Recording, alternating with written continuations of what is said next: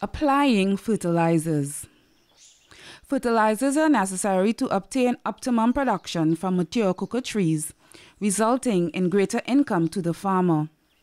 There are two types of plant food organic manure from, example, cows, chickens, and compost, and inorganic fertilizers, example, NPK or nitrogen, phosphorus, and potassium, also urea.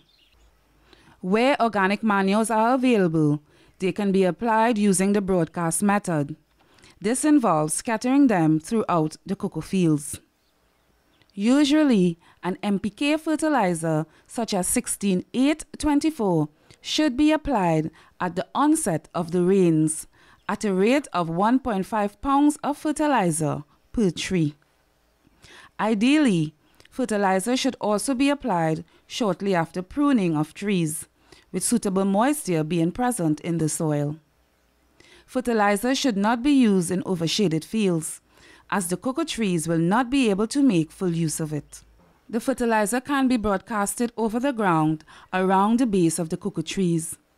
The cocoa tree root system, which is underground, is similar in size and area, covered by the cocoa tree's canopy overhead.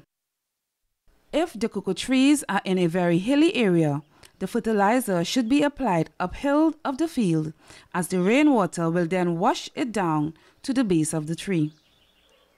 Remember, use the correct fertilizer type and apply at the right time of the season.